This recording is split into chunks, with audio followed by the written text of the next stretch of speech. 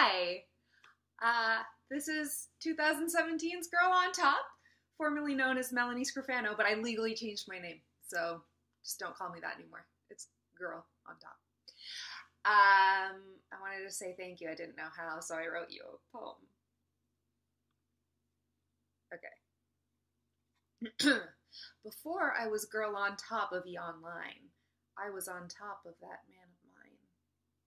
The result was a baby, and I thought that maybe season two would be canceled by Syfy. But it wasn't, and the fans were nonplussed by my ginormous expanding uterus. Earpers voted in droves, identifying roads. Now we're all dreaming in captchas.